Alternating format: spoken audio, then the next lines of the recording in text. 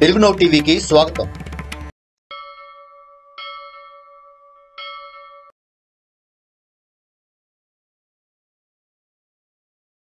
ఈ వీడియో మీకు నచ్చితే లైక్ చేయండి షేర్ చేయండి. మరింత భక్తి జ్యోతిష వాస్తు రాశి ఫలాల కోసం మా ఛానల్ని సబ్స్క్రైబ్ చేసుకోండి. ఓం శివాయ గురవే నమ. శ్రీ కబర్ది జ్యోతిష్యాలయ ప్రేక్షక వీక్షకులందరూ కూడాను శుభస్వాగతం నేను మీ హరిహర శర్మ. ఈరోజు ఇంట్లో వాస్తు శాస్త్ర రీత్యా ఏ యొక్క చెట్లను పెంచుకోవాలి ఏ యొక్క చెట్లను మన ఇంటి ఆవరణలో లేకుండా చూసుకోవాలి అలా నేను రావి చెట్టు వేప చెట్టు మొదలైనటువంటి మహావృక్షాలను ఇంటి ఆవరణలో ఉంచుకోవచ్చా? ఉంచుకుంటే వాటికి తీసుకోవాల్సినటువంటి జాగ్రత్తలు ఏమిటి? అనేటువంటి వృక్షశాస్త్ర రీత్యాను తీసుకోవాల్సినటువంటి జాగ్రత్తలు పెంచుకోవాల్సినటువంటి వృక్షాలు ఏ యొక్క వృక్షాన్ని అయితే మనం పెంచుకోవడం వల్లను మనకి శుభాలు చేకూరుతాయో ఈ యొక్క వీడియోలో మనం తెలుసుకునేటువంటి ప్రయత్నం చేద్దాం. ఇంటి ఆవరణలో ముందుగా ఏ యొక్క చెట్లు ఉండాలో మనం ఇప్పుడు తెలుసుకుందాం. తులసమ్మ. ప్రతి ఒక్క ఇంట్లో ఉండేటువంటిది ఖచ్చితంగా తులసి చెట్టు అనేటువంటిది ప్రతి ఇంట్లో ఉంటుంది.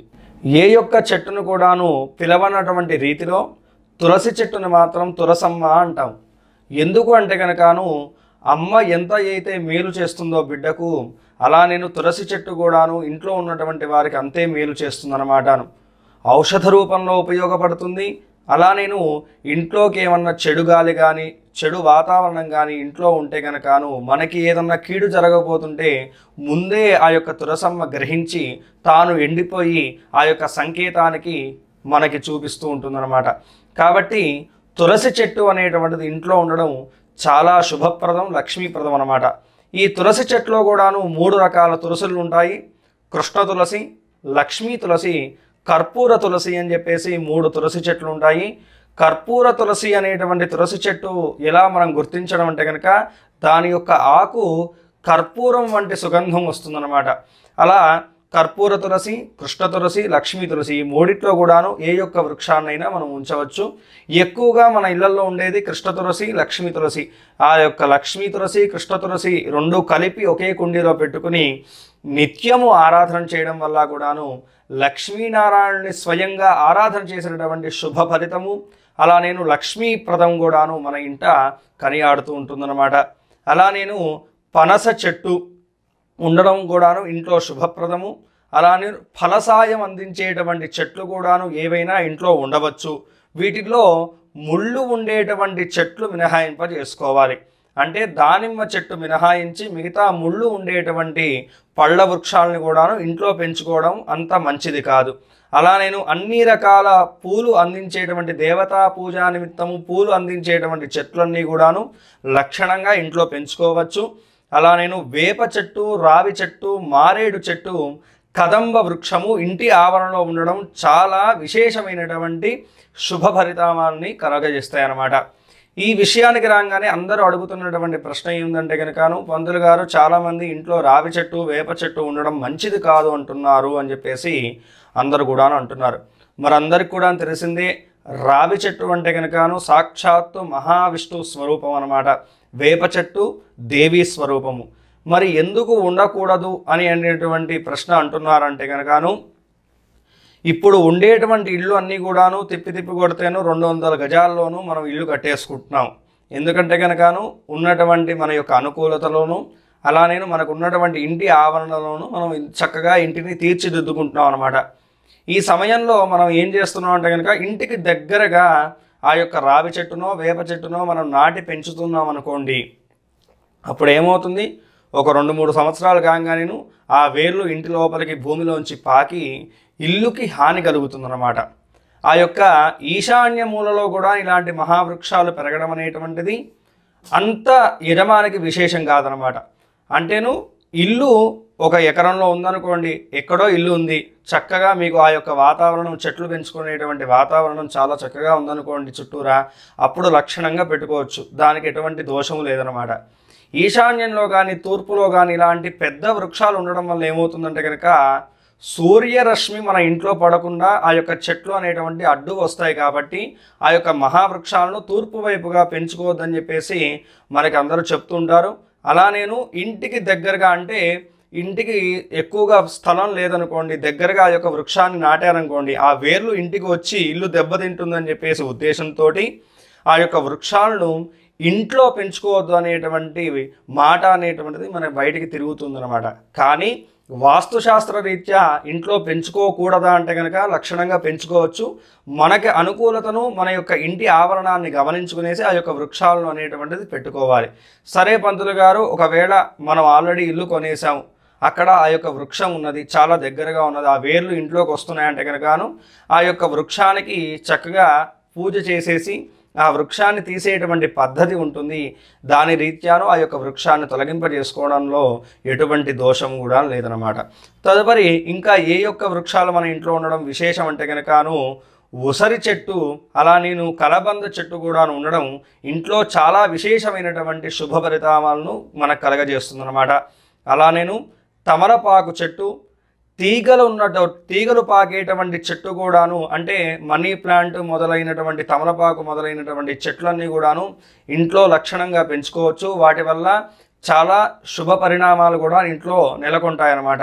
కానీ నేల మీద పాకేట్టుగా యొక్క తీగ చెట్లను ఇంట్లో పెంచుకోవడం వల్ల అలక్ష్మి వాటిల్లుతుంది. అంటే ధనము ఇంట్లో నిలవదనమాట ఎప్పుడు కూడా చాలామంది గార్డెనింగ్ గార్డెనింగ్ అని చెప్పేసి ఏం చేస్తున్నారంటే ఈ యొక్క తీగ చెట్లు నేల మీద పాకెట్గా చేస్తున్నారన్నమాట. అది చాలా దోషప్రదము. తీగ ఎప్పుడైనా కూడాను పైకి పాకుతున్నట్టుగా మనము ఆ యొక్క తీగను అల్లిస్తే కనుకను ఇంట్లో ధనప్రాప్తి కలుగుతుంది. అలా నేను సుఖ సంతోషాలు కూడాను వృద్ధి పొందుతాయన్నమాట. అలా నేను ఈ యొక్క తీగ చెట్లు ఇంట్లో తూర్పు వైపు కానీ ఆగ్నేయం వైపు ఉండడం కూడాను ఇంకా చాలా విశేషంగా మనకి వాస్తుశాస్త్ర రీత్యా కనపడుతుందన్నమాట సరే ఇక ఇంట్లో ఎటువంటి వృక్షాలు ఉండకూడదో ఇప్పుడు మనం చూద్దాము. చింత చెట్టు గోరింటాకు చెట్టు ఎండిపోయినటువంటి వృక్షాలు ఏమన్నా ఉంటే కనుక వాటిని పీకి తీసేసేయాలి. అలా నేను పత్తి చెట్లు ముళ్ళ చెట్లను ఇంట్లో పెంచకూడదు. దీంట్లో నిమ్మ చెట్టుకు దానిమ్మ చెట్టుకు మినహాయింపు ఉందన్నమాట. ఎందుకంటే నిమ్మ చెట్టు ఏ యొక్క ఇంట్లో అయితే పెరుగుతుందో వారికి ఎటువంటి నరదృష్టి దోషాలు కానీ నెగటివ్ ఎనర్జీ మాత్రం ఆ యొక్క ఇంటి మీద పడదు అని చెప్పేసి మనకి వాస్తుశాస్త్ర రీత్యా కనపడుతుందన్నమాట. కాబట్టి నిమ్మ చెట్టుకు దీంట్లో మినహాయింపు ఉంది. అలా నేను పాలు కారేటువంటి చెట్టు కూడాను ఇంటి ప్రాంగణంలో ఉండకూడదు. అంటే ఉదాహరణకు బొప్పాయి చెట్టు ఇలాంటి మొదలైనటువంటి చెట్లు ఇంట్లో ఉండకూడదు. ఈ యొక్క విషయానికి రాగానే ఇంకొంతమందికి వచ్చేటువంటి సంశయం ఏంటంటే కనుకను పంతులు గారు ఇంట్లో జిల్లేడు చెట్టు ఉండవచ్చా అని చెప్పేసి చాలామంది అడుగుతున్నారు. జిల్లేడు చెట్టు పాలుగారేటువంటి చెట్టు కదా మరి ఇంట్లో ఉండవచ్చా అంటే కనుకను అది సాక్షాత్తుగా గణపతి స్వరూపమైనటువంటి వృక్షం అన్నమాట జిల్లేడు చెట్టు. ఎవరైతే నిత్యము ఆ యొక్క వృక్షానికి పూజ చేసేటువంటి శక్తి ఉన్నదో వాళ్ళు లక్షణంగా ఆ యొక్క జిల్లేడు చెట్టు చిన్న పరిమాణంలో పెంచుకోవచ్చు అన్నమాట లేదు మేము పట్టించుకోలేము అంటే కనుకను పెంచుకోకపోవడమే ఉత్తమం అని చెప్పేసి మనం చెప్పుకోవాలి. ఇలా పాలు కారేటువంటి చెట్లను కూడాను ఇంట్లో మనం పెంచుకోకూడదు మునగ చెట్టు కూడాను ఇంట్లో పెంచుకోకూడదు. ఈ మొదలైనటువంటి పాలు కారేటువంటి చెట్లు కానీ మునగ చెట్టు కానీ ఇంట్లో ఉండడం ద్వారా పక్షవాతము సంబంధితమైనటువంటి రోగాలు వచ్చేటువంటి సూచనలు కూడాను వాస్తుశాస్త్ర రీత్యా మనకు కనపడుతున్నాయి అన్నమాట అలా నేను నేరేడు చెట్టు రేగి చెట్టు అలా నేను మర్రి చెట్లు కానీ ఊడలు ఉండేటువంటి చెట్లు కానీ ఇంటి ఆవరణలో ఉండడము ఇంటి యజమానికి ఆ యొక్క ఇంట్లో ఉండేటువంటి వారికి అంత క్షేమప్రదము కాదు అని చెప్పేసి మనకి జ్యోతిష శాస్త్ర రీత్యా తెలుస్తుందన్నమాట. మామిడి చెట్టు కూడాను ఫలసాయం అందించేటువంటి చెట్టే కాబట్టి లక్షణంగా ఉండొచ్చు. ఇంకా కొంతమందికి ఏంటంటే కనుకను దీంట్లో అరటి చెట్టు ఇంట్లో పెంచుకోవచ్చా లేదా అనేటువంటి సంశయం చాలా మందికి ఉంటుంది. ఈ యొక్క అరటి చెట్టు విషయంలోకి వచ్చేసి ఏంటంటే కనుకను కొంతమంది దీంట్లో ఏంటంటే అపోహలు మా ఇంటి ఆనవాయితీలో లేదండి అంటే మా పూర్వీకులు ఎవరు పెంచలేదు ఇలాంటి లేదు మా పూర్వీకులు ఎప్పటి నుంచో పెంచుకుంటూ వస్తున్నారు కాబట్టి మేము పెంచుతున్నాం అనేటువంటి మాట చాలామంది వాడుతుంటారు. ఈ విషయంలో ఏంటంటే కనుకను వృక్షాల్లో ఆనవాయితులు వంశపారపర్యాలు అనేటువంటిది ఉండదు. వృక్షో రక్షతి రక్షిత అని చెప్పేసి మనకి ధర్మశాస్త్రం చెప్తున్నది కాబట్టి వృక్షాలను పెంచడం వల్ల మనకి ఇంటి ఆవరణలో కూడాను ఆ యొక్క ఆహ్లాదకరమైనటువంటి వాతావరణం నెలకొండడానికి అలా నేను మనకి సైంటిఫిక్ పరంగా చూసుకున్నా కూడాను ఆక్సిజన్ అందించేటువంటి యొక్క కల్ ఆ యొక్క కలుషితమైనటువంటి గాలిలో చక్కటి గాలి దొరకడం మనకి కరువు అయిపోయింది కాబట్టి ఆ యొక్క ఆక్సిజన్ లెవెల్స్ కూడా చాలా చక్కగా ఉండడానికి ఇంట్లో మనం వృక్షాలను పెంచుకోవడం చాలా మంచిది. ఈ యొక్క విషయంలో అరటి చెట్టు విషయంలో ఏంటంటే కనుకను తూర్పు వైపు కాకుండా ఆగ్నేయం కానీ ఈశాన్యం కానీ ఉత్తరం వైపు కానీ ఆ యొక్క అరటి చెట్టు పెంచుకోవడంలో ఎటువంటి సంశయం కూడా లేదు. లక్షణంగా ఆ యొక్క అరటి చెట్టు కూడా ఇంట్లో పెంచుకోవచ్చు. ఇలా పై తెలిపినటువంటి వృక్షాలు కాకుండా ఇప్పుడు వస్తున్నాయి కొన్ని ఆధునికమైనటువంటి కాలంలో కొన్ని వృక్షాలు వస్తున్నాయి. ఏంది? షోకేస్ పరంగా వస్తున్నాయి అన్నమాట డై ఆ యొక్క డిజైనింగ్ పరంగా లేకపోతే కనుకను ఫర్నిచర్ పరంగా కూడాను కొన్ని వృక్షాలు వస్తున్నాయి ఆర్టిఫిషియల్ వృక్షాలు. అవి పెంచుకోవచ్చా లేదా అనుకుంటే కనుకను ముళ్ళు ఉన్నటువంటి మినహాయించి మిగతావన్నీ కూడాను లక్షణంగా పెంచుకోవచ్చు. దాంట్లో ఎటువంటి సంశయం లేదు. మీకున్నటువంటి సంశయాలన్నీ కూడా నివృత్తి పరిచయాలని చెప్పేసి నేను భావిస్తున్నాను. ఇంకా ఏమన్నా కూడా మీకు సంశయాలు ఉంటే కనుక ఈ విషయమనే కాదు ఏ విషయమైనా కూడా మీకు ఎటువంటి సంశయాలు ఉన్నా కూడాను లక్షణంగా కింద కామెంట్ బాక్స్లో మీకు ఉన్నటువంటి ఆ యొక్క సంశయం ఏదైతే ఉన్నదో దాంట్లో కామెంట్ బాక్స్లో తెలియజేయడం వల్ల దానికి త్వరితంగా నేను ఉపశమనాన్ని కానీ లేకపోతే పరిహారాన్ని కానీ తప్పకుండా నేను తెలియజేయగలుగుతాను. ఈ యొక్క వీడియోను తప్పకుండా మీరందరూ కూడా చూసి ఇలా నేను ఈ యొక్క విషయాన్ని ఇంకో నలుగురికి తెలియజేయడానికి అందరికి కూడా తప్పకుండా షేర్ చేయండి.